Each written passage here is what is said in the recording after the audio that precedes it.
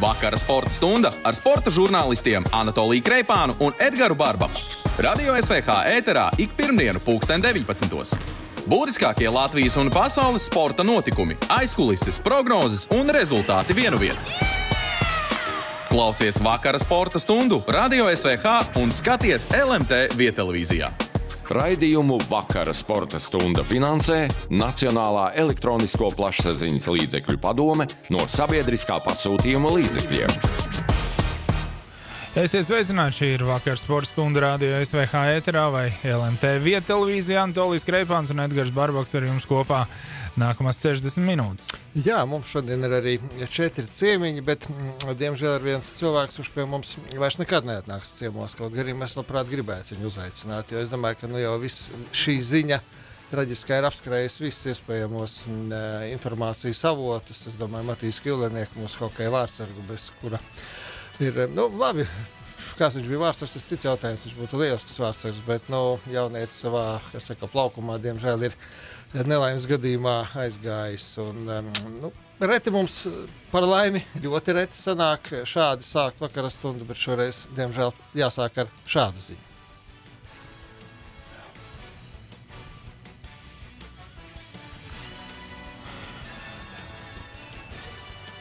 Šodien vairākas, eh, vairākas tēmas, kas mums, protams, eh, jāapskata gan par notikumiem, kas aizvadītajā nedēļā ir izcinājušies, gan, protams, eh, tie notikumi, kas mums vēl priekšā. Un, tur arī ar viesiem parunāsim par šīm lietām, bet ir viena lieta, kuru gribam izcelt īpaši. Jā, tā ir, es pat teiktu, vēsturiska lieta.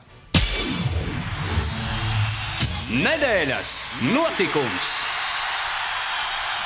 Par nedēļas notikumiem mēs uh, liekam to vēsturisko faktu, ka pirmo reizi Wimbledonas uh, turnīru vēsturē divas Latvijas tenisistas iekļuva trešajā kārtā. Nekad divas nav bijušas. Nu, Anastasija Savastovā vispār arī karjerā pirmo reizi viņa trešajā kārtā, jo tomēr Aļona Stapenko 18. gadā spēlēja arī pusfinālā. Tas viņai labākais sasniegums šajā turnīrā. Un, nu, Un, un nevar teikt, ka Rīga bija abām tikt arī vēl tālāk, 4. kārtā. Jā, abas divas vienas setu vinēja arī jā, savās spēlēs. Setos zaudēja, un kā patērģiona izteicās, tad vēlāk nebūtu viņai likstas ar, ar veselību. Viņa noteikti būtu uzvarējusi. Nu, būt vai nebūtu, to mēs nekad neuzzināsim. Bet katrā ziņā tas trešais sets būtu pavisam citādāks. Nu, viņas tur, protams, arī pastrīdējās Jā. kārtīgi ar eh, pretinieci. Viens saka, ka nekas tam- tev nesāpēja.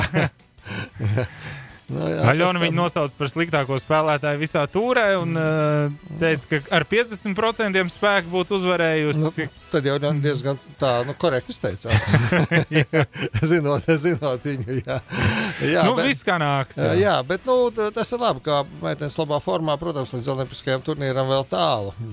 Nu, to formu tādu nevar noturēt. Un, jā, protams, ir savs gatavošanās plāns. Atgādināšu, ka visas abas spēlēs, gan viens spēlēs Tokijā, gan arī abas kopā spēlēs dubultspēlē. Mm. Tad jau redzēsim. Pirmo reizi kopš 92. gada Latvijai būs pāris ne, Olimpiskajā tenisa turnīrā, ne, proti, e, dubultspēļu sacensībās sievietēm. Nu, faktiski tā mums vēl viena komanda, kas tur Var teikt, vēl uh, viena tā sauktā mazā komanda. jā. Tieši tā. Ir divi pludmales volejbola pāri, Jā, starp citu, 3x3 basketbolisti. Jā, pludmales volejbola pāri šodien arī uzzināja savus pretiniekus grupās. Nu, šādiem tāda nopietna grupa. Nu, meitenēm arī, protams.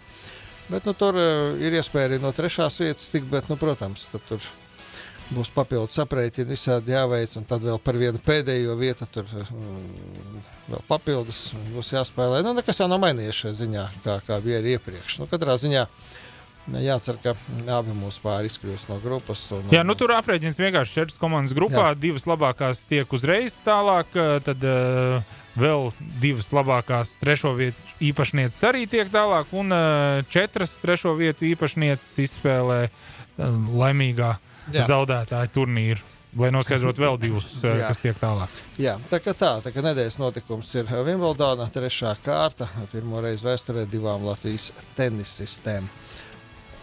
Pēc pauzītes tad ķersimies klāt mūsu ciemiņiem. Vakara sporta stunda ar sporta žurnālistiem Anatoliju Kreipānu un Edgars Barbaku. Radio SVH ēterā ik pirmdienu, 2019. Sadarbībā ar LMT vietelevīziju.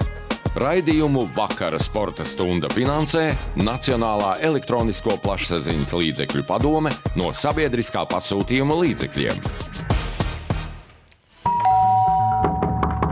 vakara sporta stundas ciemiņš.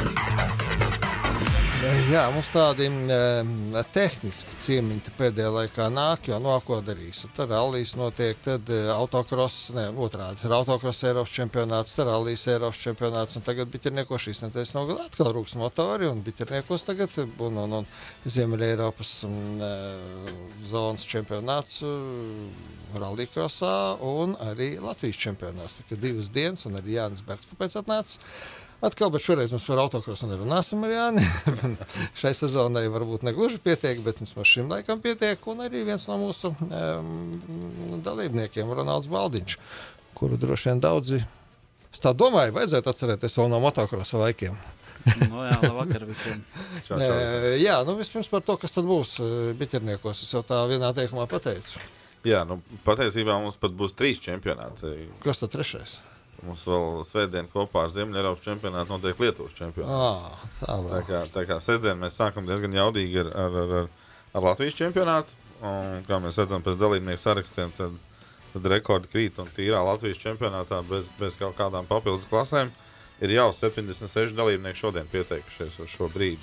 Tā tas, kā... tas nav nedaudz pārsteidzoši tieši šim laikam, kad, kad, kad, kad eh, ļoti daudzi cilvēki lai neko nedarītu, attaisnos ar Covid. manuprāt, ir nu, teiksim, tāds, tāds uh, mūsu gadījumā mēs esam ieguvēji. Uz ziemu nebrauc slēpot. Vairāk brīvs naudas. Ja tā pats nauda, priekšā jā, jā, jā, tieši tā precīzi. Un, un, un, un, un kaut ko tādu savam vietējiem hobijiem iztērēt.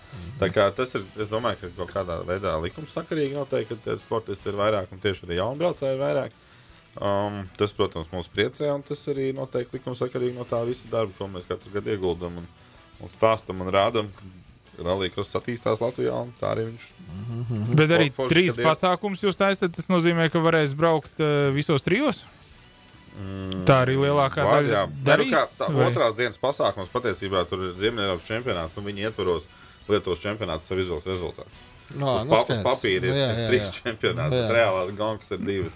Tātad, uh, principā, iespēja ir, ir, ir, ir braukt sestdien Latvijas čempionātu. Uh, tās klases tur daudzas arī sakrīt, arī svētdienas tiem, tiem klasēm ir, ir kas arī to izmanto sestdien kā, kā, kā treniņu svētdienas Ziemeļ-Eiropas sacensībām. Un, un, un tad svētdien startējam ar, ar, ar Ziemeļ-Eiropas jaudīgākajiem ceļiem.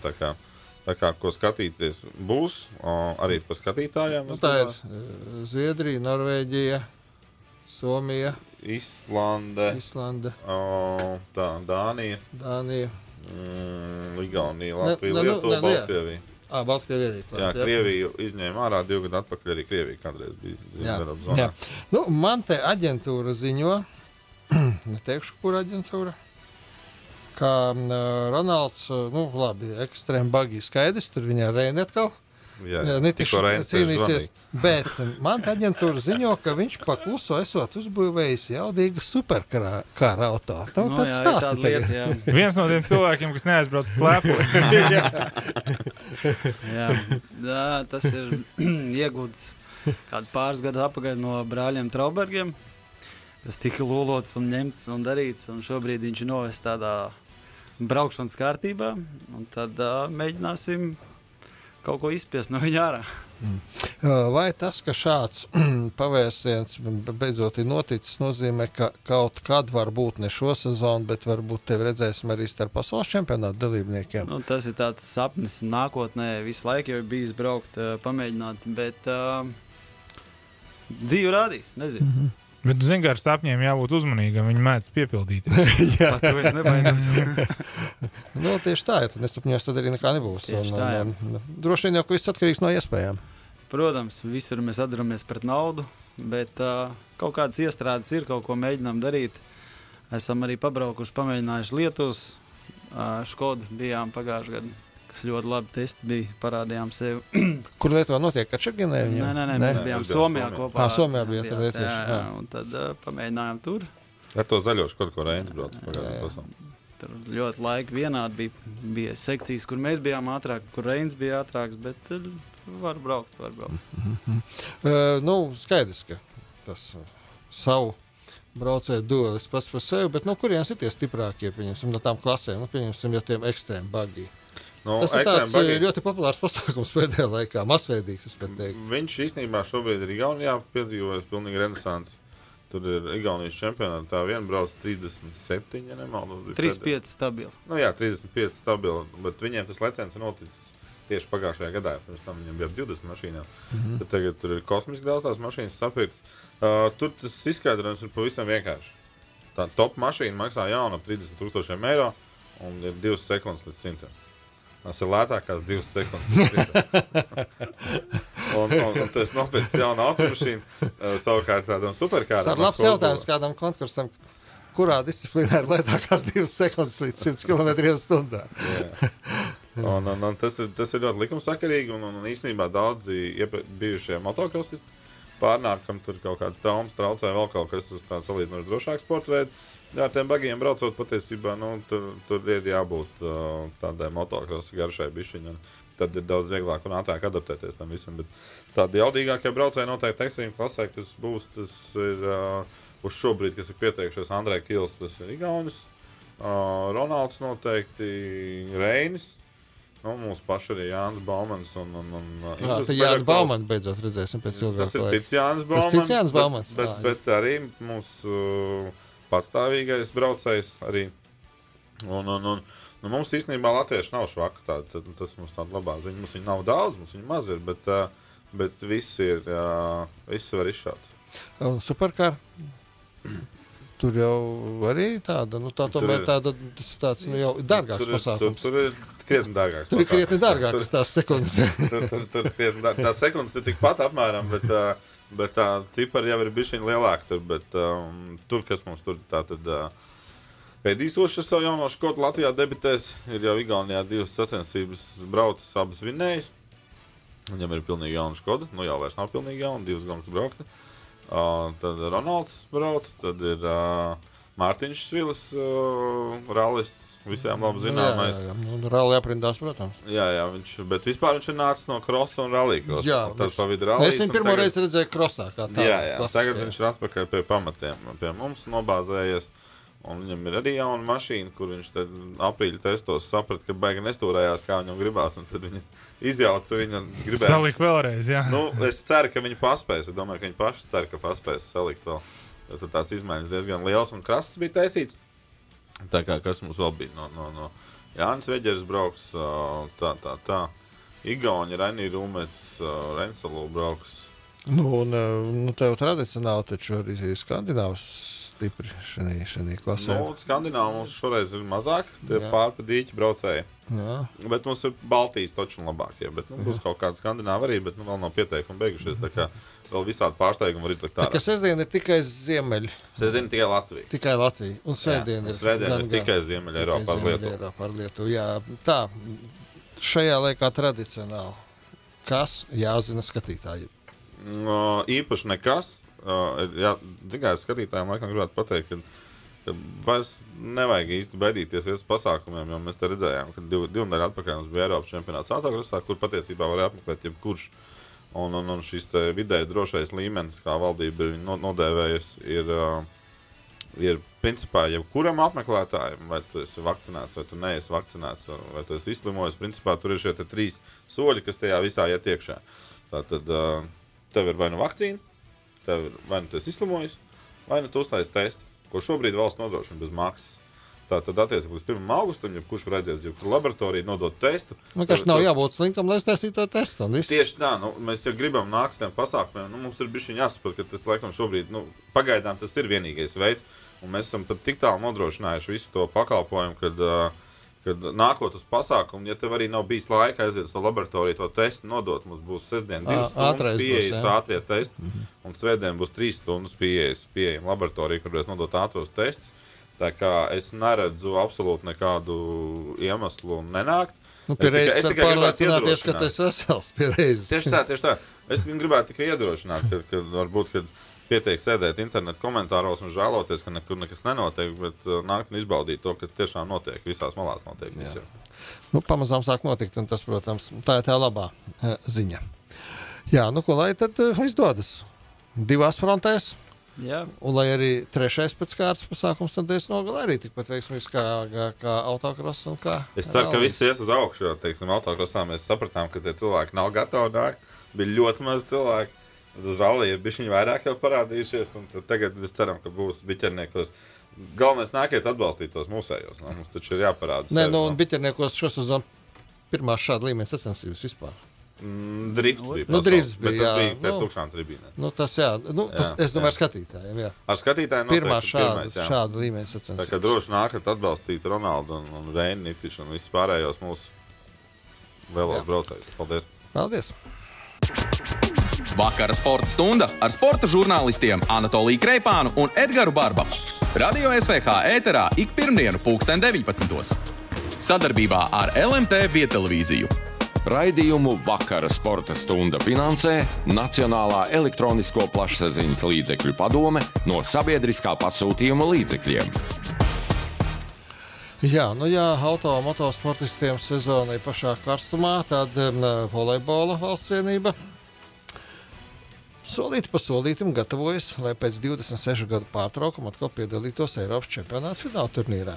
Esam dabūjuši cilvēkus no nometnes. Jā, ārā. no nometnes. Jā, man uh, vispār ne tāpēc, ka šeit volejbola puiši, bet uh, ir, ir teiksim, dažas federācijas, volejbola federācija viena no tām, ar kuru ir patīkami sadarboties uh, tieši pretīnākšanas dēļ un, un, un tā tālāk. Es šeit nesalīdzināšu ar Latvijas futbola izlasi. Man liekas, ka pie Kristiāna Ronalda tik, tikpat sarežģīti, cik Latvijas izlases futbolistiem, kad viņi te gatavojas kaut kādām spēlēm. Bet, nu, labi, tas ir cits temats. Bet, Nu, Ronaldu tagad čempionāts ir beidzies. Lai viņš neatbrauktu arī pie mums? Jā, tieši tā. Jā, tā kā volejbols ir treniņu nometnē, Atvars Ozoliņš un arī Kristofs um, Šmits ir atnākuši pie mums šodien ciemos. Sveiki! E, Ko dara tagad izlase, kā notiek tas darbs? Un, un tomēr 1. septembrī jāspēlē pirmā spēle. Ļoti daudz laika vēl.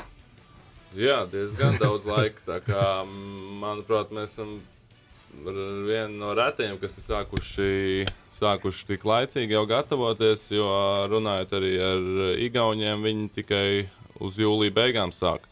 Bet, jā, pagājušajā nedēļā sākām un eh, lēnu gari. Pagaidām tikai fiziskā sa- sagatavotība un eh, mēģinām atgūt kaut kādu varbūt eh, sportisko formu, jo bija tomēr neliela pauzīte un svētki pa vidam, un uh, tā arī darbojamies.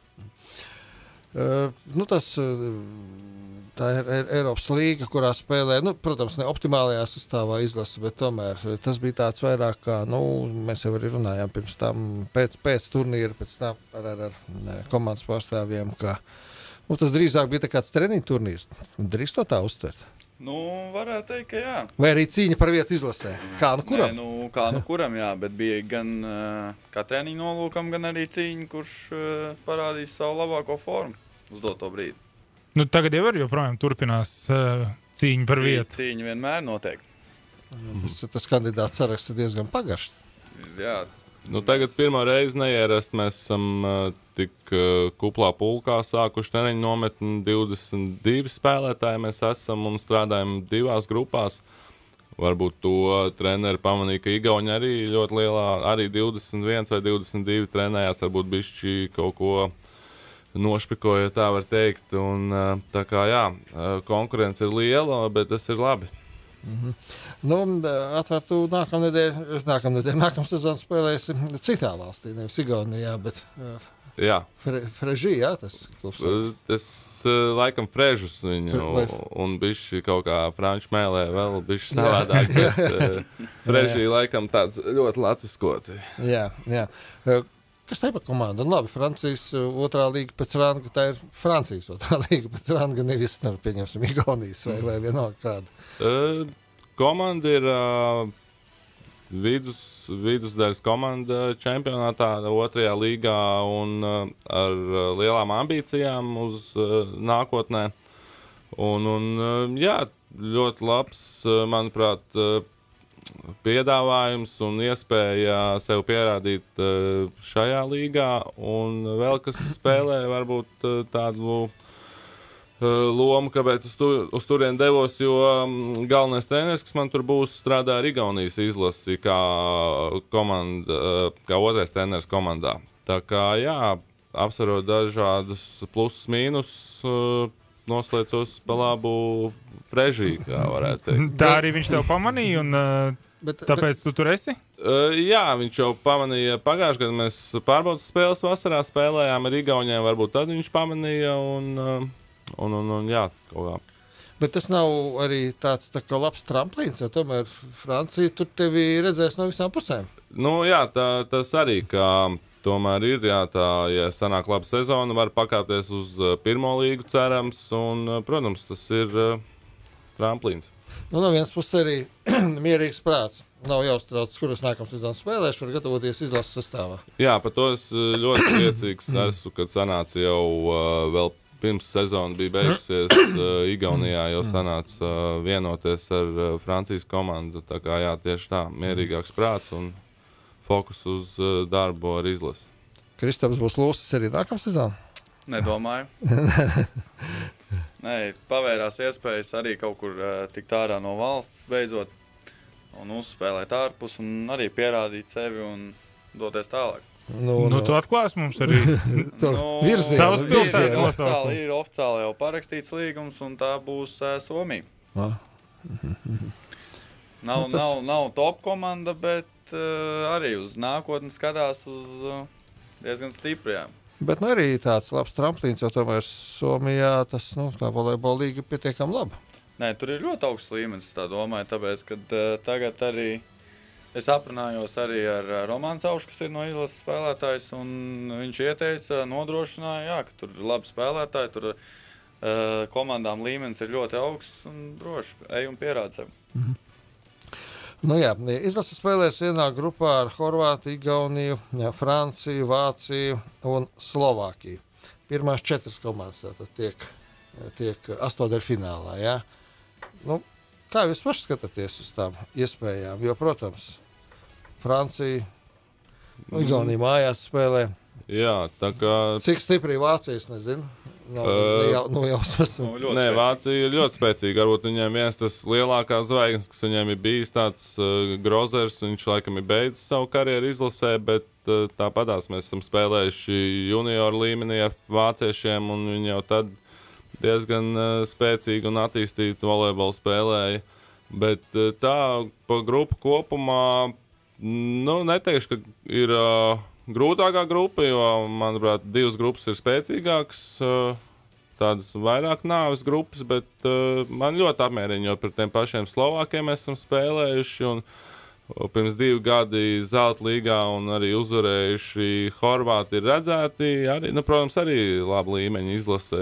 Nu, Igauni- fināla, nu, fināla turnīrā laikam arī nevar būt vājas komandas. nu, tieši tā, jā. Bet, nu, protams, Igaunijā, kas uh, ir, uh, ir, ir, ir ļoti, ļoti attīstījušies un uh, grūti spēlēt pret viņiem. Un, protams, Francija, par ko es biju ļoti priecīgs, kad viņi iekrita, jo tur spēlēja uh, tāds Elks mans un cerams būs iespēja jā, pret viņu arī uzspēlēt. E, Igauni speciāli ielika pirmo spēli ar mums 1. septembrī.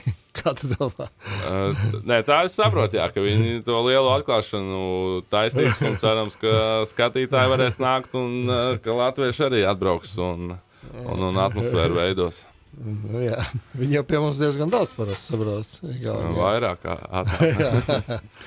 Kā jums ir sajūta, ka nu, tādā vēsturiskā notikumā piedalīties? Šitā vispār ir tāda super sportiska vasara. Man liekas, tikko bija pasaules čempionāts hokeja, uzreiz sākās Eiropas čempionāts futbolā, tad ir Olimpiskās spēles, ir, ir jūsu čempionāts. Nu, ka uz lielās skatuves jūs esat šobrīd, un, un kā tu saki, spēlēs pat eh, nosacīt komandu, kur ir tavs elks. Pat. Jā, nu, kaut kā varbūt man personīgi tā varbūt nav vēl saslēdzies, ka tas ir tāds vēsturisks notikums, varbūt, jo mēs ar Kristapu esam jaunā paudze un, un tikko esam sākuši savus profesionālās gaitas un uh, gaitas izlasē un cerams jau, ka šis būs uh, tikai tāds vēl atspērienu punkts, uh, ka mēs tajā čempionātā atgriezīsimies uh, katru, katru Regulāri. čempionātu. Jā, regulāri. Nu, jā, nebūs 26 gadus jāgaida līdz nākamajai reizei, kad jūs jau būsiet sen beiguši karjeru. Bet, Bet vēl jau sastāvā jātiek. Uh, tieši tā, jā. jā, nu, tas arī, bet es te pieminēju to jauno paudzi, jūs abi 98. gads, jā, Jā, jums jā, abiem pareizi. dzimšanas gads, bet eh, eh, Bet tā jau ir ļoti laba iespēja sevi. Jā, jums ir jau līgumi ar klubiem un tā tālāk, bet tā ir ļoti laba iespēja, lai jums pievērš vēl lielāku uzmanību. Nu, un tikai jums, arī citiem jūsu vienaudžiem. Jā, tieši tā, tu, to savu CV tu veido ar katru spēli pa lielam, un, uh, jo tu jebkurā spēlē, kurā tu piedalies, sevi apliecini un esi ar stabilu sniegumu, tas, protams, tev nāk līdzi nākotnē, un komandas uh, uz tevi skatīsies ar citu, ar citu vērtību. Kā, kā tev liekas, tas, tas Eiropas līgās spēles to konkurenci palielināja par, par vietu, par tikšanu izlasē, jo tomēr tur daži puiši, kas varbūt pirms tam nu, nebija tik labi zināmi izlases kontekstā, sevi no labākās puses apliecināja. Nē, nu, katram, jā, katram treneris tieši Zelta līgā deva iespēju. Treneris noteikti gribēja pārbaudīt visus spēlētājus, kas uz ko ir spējīgi. Un, un eh, visi varēja apliecināt, ka man personīgi kaut kas sanāca, kaut kas nē, bet uh, treneris varbūt vairāk tagad ir sācis uzticēties un varbūt dos vairāk iespējas arī tieši parādīt uh, šādām augstas klases komandām, kad ir kaut kāda iespēja mm. un arī skatīties uz. Vai jau ir zināms, nu, pārbaudas spēles arī jānospēlē. Nu, vismaz, nu, es nezinu, cik, nu, 5, 6, 7. Pārbaudas spēles vajadzētu. ir paredzēts, jā, kaut kāds mm. 5, 6 ir paredzēts vai pat astoņas. Jā, ar trīs izlasēm spēlēsim. Ar uh, Somiem augusta sākumā, tad būs Čehi, un uh, vēl uz jautājumu zīmes par datumiem ir Grieķi. Mhm. Tā kā būs uh, diezgan uh, saspringts augusts, arī jā, aizņemts ar pārbaudas spēlēm, bet tas ir vajadzīgs. Jā, un, uh, tur, pa lielam, tur arī sāksies tā lielā cīņa par iekļūšanu sastāvā un piekļūšanu starta sešniekā lai laba gatavošanās, lai galvenais, lai nav savainojumu. Jā. Ja, tā, ja šai ziņā viss būs kārtībā, tad mums ir pietiekami konkurētspējīgi izlase. Vismaz mums tā liekas. un galvenais, lai jūs būtu par to pārliecināti. Jā. Paldies, paldies, paldies, paldies ka atradāt laiku atnākt. Vakara sporta stunda ar sporta žurnālistiem Anatoliju Kreipānu un Edgars Barbaku. Radio SVH ēterā ik pirmdienu, 2019 sadarbībā ar LMT Vietelevīziju. Raidījumu vakara sporta stunda finansē Nacionālā elektronisko plašsaziņas līdzekļu padome no sabiedriskā pasūtījuma līdzekļiem. Turpinām ar uh, motorsportiem. Jā, ar motorsportiem. Mēs jau pagājušajā pirmdienā piedraudējām Pāvlam Janasam, ka mēs viņam zvanīsim. Mēs tagad savus draudus arī piepildīsim. Vēl vairāk mums ir labs iemesls, lai to izdarītu. Atkal divi ļoti stabili braucieni. 7. un 4. vietā, atkal 6. divu braucienu summā un atkal starp līderiem. Sveiks, Paul! Labvakar! Nu, vai tu šoreiz apskaties, kā tev tur papļiem pa tām vietām gāja? Nu, atkal ļoti laba stabilitāte. nu, jā, sal, salīdzinot šādi, ka pirmā braucienā Herlings pēdējā aplī apdzina. Bet uh, kopumā, jā, atkal stabils sacensības sastāvēt kopvērtējumā. Uh, varbūt ar uh, pirmo braucienu neesmu līdz galam apmierināts, bet uh, otrajā braucienā nedaudz revanšēs to pirmo braucienu un kopvērtējumā atkal sestā vieta. Nu, jā, pēdējos apļos tur 6, 5, 5 un pēdējā aplī jau 4.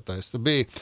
Bet um, es skatos labākos laikus braucienos. Kas otrajā braucienā bija, kad tur visiem tā kritās? Es neredzēju, sacensības man nebija iespēja to darīt. Uh, otrajā braucienā, tieši pirms otrā brauciena, uznāca ļoti spēcīgas lietas un bija uh, dubļu sacensības. Kā, nu, pēc savām bildēm jau varēja pateikt. Jā. jā, jā, visiem ir problēmas ar brillēm un uh, sanāca braukt. Man vispār jau sanāca trešajā vai ceturtajā aplī sanāca nomest brilles, jo nezinu, kāpēc ļoti ātri brilles aizsīt ciet, aizsīt ciet un nevarēja neko redzēt. Tā kā praktiski 25 minūtes bez brillēm dabūju nedaudz dubļus un ūdeņus acīs. Nu, acis bija, var iedomāties, cik sarkanas pēc tam. Jā, tagad viena acis tā diezgan pamatīgi, pamatīgi zila, jo pēdējā aplī, jā, kad centos atzīt Jakobī, tad dabūja tādu pamatīgu akmeni pār. Smējos, nobraucot malā, komanda prasīja, kas bija, ka, kāpēc tik zila acis, un jums vajadzētu redzēt otro džeku. Nu, jā. nu, un kopvērtējumā tev ir tikpat punktu, cik Koldenhofam, jo 7, 8 vietā, 82, turpat priekšā arī Sīvers. Tu tā, nu, droši vien agri to jautā, trīs posmi tika aizvadīti, bet, nu, Nu, nekas jau uh, super jauns nenotiek. Tie uzvārdi jau lielākā daļa, nevis lielākā, bet pirmajā desmitniekā vispār nav neviena uh, lieka pasažiera, kā var teikt. Jā? Un, un, un, un, un, un tā tu prognozē, rēķina, par ko tu varētu pacīnīties reāli, vai, vai par agru vēl par to runāt? Es domāju, par to ir daudz pāri runāt, jo mēs ar komandu pēc sacensībām runājam. Viņi teica, jā, tagad vienādi punkti ar Goldenu. Es teicu, ka tagad punkts nav ko skaidrīt. To priekšā ir ļoti daudz sacīks. Un, uh, un tā bilde arī būtu citādāk, ja nebūtu man Krievijā pirmajā braucienā nulīt. Es domāju, ja viss izdosies, nebūs. Uh, nebūs nekādas liekas problēmas, tad pavisam noteikti pat top 6 cīnīšos un cerams arī, pat augstākām vietām kopvērtējumā. Jā, nu paši... tev, tev sanāca apbraukt arī vienā braucienā arī Prado. Tur ir tā, ka jums ir nu, īpaši tā konkurence. Tomēr man tas vienmēr tā licies, kā ir tur braukt pret viņu. Un tu pats teici, ar, ka tas brauciens tev labāk patīk, kurā tu viņu apbrauc. nē, nē, tā nav tā, nav tā. Tas vairāk cilvēkiem no malas vienmēr, ja ir kā cīņa Prado, tad cilvēki to piemin, bet uh, esot trasē, gribās apdzīt uh, visu konkurenci, vienalga, kas tas ir. vienalga, es tev neticu. Tā, nākamais posms 18. jūlijā, tagad nedaudz pauzīta, jā, būs, kā tā tiks aizpildīta. Nīderlandē būs Osas trasē, kas, nu, man kaut kā vairāk asociējas ar ekipāžu motokrosiem. Jā, ja godīgi, tad Osas trasē pirmo reizi, ja nemaldos, būs pasaules čempionāta posms vismaz, cik es atceros. Tā kā smilšaina trase un uh, esam jau atpakaļ Beļģijā, tā kā aizvedīsim šonadēļ nākamajai treniņus pa smilšu trasēm un uh, gatavosies nākošajam posmam, īpaši nedaudz, nedaudz šodien atpūtos, un tajā rītā atkal būšu atpakaļ trasē un turpināšu gatavoties. Jā, nu un Pauli, tu zini, jā, ka 19. datumā, apmēram ap tādu pašu laiku, Tev jāgaida telefons zvans no radios vekā. Labi, tad cerams, ka varēs runāt par kaut ko jau nedaudz nu, pozitīvāku. Nu, vēl pozitīvāk. Nu, nu, galvenais, lai nav, galvenais, lai nav jaunu zilumu, tad viss kārtībā. nu, tieši tā. paldies, Pauls. Paldies, Pauls, Pauls Jonas bija, bija kopā ar mums. Jā, nu, kopērtējumā līderis ir Tims Gaisers, eh, pašreizējais titula īpašnieks, tikai par sešiem punktiem atpaliek Jeffrey Herlings. Mm, nu, turpat netālu arī, arī Romanis Fevrē, turpat Antonio Kairoli, deviņkārtais pasaules čempions. Nu, viņam arī viena nulīte, tāpat kā Paulam, nebūtu tā nulīte, viņš būtu, nu, es pieļauju, otrais šobrīd kopējumā. Nu, katrā ziņā arī tur pāragri kaut ko rēķināt. Sekojam Paulam, turam īkšķus, lai Paulam tikpat stabili braucieni visu sezonu, un tad noteikti viņš kopvērtējumā būs sešniekā. Bet no Itālijas posms vispār pierādīja, ka tā konkurence ir tik līdzvērtīga trīs, pirmajiem, uh, trīs pirmajām vietām pa 40 punktiem. Jā, tieši Kopā tā. Kopā saskaitot, tā. Uh, nemaz tik bieži tā negadās. Nu, es, es pat teiktu, reti gadās. Jā. Jā. Tā, tik daudz par motorsportu šodien, šodien par motorsportiem pietiks. Galu galā mums šodien ir vēl viens ļoti svarīgs paziņojums, par kuru jūs arī noteikti zināt, jo ir zināms, kurš no Latvijas sportistiem Tokio Olimpiskajās spēlēs eh, nesīs Latvijas karogu. Kāda būs tā atklāšana? Nu, eh, negaidiet neko grand, tik grandios, kā tas bija iepriekšējās spēlēs. Es tā pieļauju, zinot visus apstākļus, iemeslus un, un tā tālāk. Ja? Bet Agnēs Čavars no mūsu 3-3 basketbolists. Basketbolists komandas kapteinis. Jā, nu, eh, es domāju, ka tas ir ļoti tāds. Mm, nu, laikam tā nedrīkst teikt, pareizs, nepareizs lēmums, bet tāds, nu, es pat teiktu, likumsakarīgs. Zinot šā ilgu laiku amatieru basketbolista profesionālo attieksmi pret visu, ko viņš dara, kā viņš prot vispār savu dzīvi sakārtot. Nu, tas ir tāds, es pat teiktu, um, gods par attieksmi. Tāds, kas tika dots. Nu, tur varēja jebkuram no tiem ceļiem dot nes karogu, jebkurš būtu pelnījis. Un, principā, jebkurš, kas ir ticis Olimpiskajā komandā, 33 cilvēki, mums ir 14 sporta veidos. Pagājušajā nedēļā arī sastāvs pilnībā tika nosaukts, jau nokomplektēts, jau zināms, arī vieglatlēti nosauca tos, kuri pēc reitinga tiek. Jebkurš ir pelnījis, jo, lai tiktu uz Olimpiskajām spēlēm, nu, tie, kas varbūt ikdienā nesaskaras ar sportu, jūs pat nevarat iedomāties, cik daudz, mm, cik daudz no kā jāatsakās un cik milzīga. Milzīgam gribas spēkam ir jābūt, un cik daudz pūļu un arī līdzekļu jāiegulda, lai vispār tiktu uz Olimpiskajām spēlēm. Un tāpēc nevajag apsaukāt par turistiem tos, kuriem eh, paliek, nu, pieņemsim, 30. un 40. vietās. Tās ir Olimpiskās spēles. Tā nav kaut kāda resursa Spartakijāda vai kaut kas tamlīdzīgs. resursa Spartakijāda. Jā, jā, nu, tā ir kaut kas tamlīdzīgs. Tas, ko tu pateici, man īstenībā ļoti patika, jo trīs reizes trīs basketbolisti tiešām ir šī vārda, man liekas, skaistākajā nozīmē amatieru sportisti. Nu, viņi brauc uz šiem turnīriem, faktiski tas tāds izdzīvošanas jautājums. Nu, labi, arī. viņiem Olimpiskā vienība, protams. Jā, protams, bet arī nevajag domāt, ka tur ir rentie tūkstoši kaut kādi tur. Kas tagad, ne, nu, viņi var neko nedarīt. Vairāk ir, viņiem ir svarīgs tās naudas balss, ko viņi tur nopelna. Protams, mēs jau cik reizes esam stāstījuši, kā puiši pus sešos no rīta cēlās un gāja uz treniņiem turībā, lai tiktu, jā, lai, lai, lai, lai trenētos, ja nebija jau kur tikt. Un, un tā, un tā, un to viņi darīja regulāri. Jā. Un uh, viņiem uh, tajā laikā algu neviens nemaksāja par. Un plus paralēli tev ir darbs, un, un, un, kurā tu strādā. Jā, paralēli lai... viņi visi strādāja. Tur jau, nu labi, varbūt ne visi. Bet uh, lielākā daļa, jo tur arī B komanda vēl ir. Tagad viņi treniņu nometnē Spānijā. Viņi svētdien aizlidoja. Un tieši tagad viņiem ir treniņš. Citādi jau mēs sāktu būt sazvanījuši. Jā, nu, tur tā izaugsme ir ļoti skaista. Tiešām no tāda pilnvērtīga amatiera. Tagad tu esi faktiski viena no Latvijas arī galvenajām cerībām. Nu, ko tur liekties? Nelieksimies, no... neliekuļosim. Viena jā. no cerībām. Tieši tā. Viena no nedaudzajām cerībām. Jā. Tā tas ir. Ja nu mēs uztaisīsim vēl mazu pauzīt, pauzīt un tad mums vēl divi lielie vaļi, vēl nu, basketbols un futbols. Nu, mēs taču nevaram neparunāt par futbolu. Vakara sporta stunda ar sporta žurnālistiem Anatoliju Kreipānu un Edgars Barbaku. Radio SVH ēterā ik pirmdienu, 2019. Sadarbībā ar LMT Vietelevīziju. Raidījumu Vakara sporta stunda finansē Nacionālā elektronisko plašsaziņas līdzekļu padome no sabiedriskā pasūtījuma līdzekļiem. Jā, nu, mazais, lielais basketbols, tā var teikt, notiek Latvijā. Nu, nav vairs nemaz tik mazi. nu, jaukuma ziņā tad jā, bet nu, tomēr U-19 ir viens no jaunākajām valstu izlasēm pasaules kausas Dagopilī. Un Rīgā Latvijas izlase sāka ar zaudējumu Puertoriko, tad uzvarēja Irānu, rīt spēlējumu ar Serbiju. Nu, visas komandas, protams, tiek tālāk, bet pret ko tu trāpīsi? Nu, tagad sanāk, ka mums laikam Lietuvu varētu trāpīties. Uh, izslēgšanas uh, turnīra pirmajā kārtā. Un tur gan, ja tu zaudē, tad tev turnīrs laikam ir beidzies. Tieši tā, jā. Nu, par to, ka jauni vai veci vakardien pret Irānu, man meitas arī kopā ar mani skatījās spēli un teica, Te tiešām viņiem 19 gadi, viņiem visiem ir bārdas jau tādas. no Irānā tiem pušiem tās bārdas savu krietni ātrāk. es tieši to pašu teicu, jā. jā. Ka tur jau no bērndārs iznāk ar bārdām. jā, bet, nu, protams, ka, protams, ka pušiem tas ir labs pārbaudījums un labā, mums labi iespēja iepazīt nu, varbūt ne pašu tuvāko rezervi, bet nedaudz tālāko rezervi.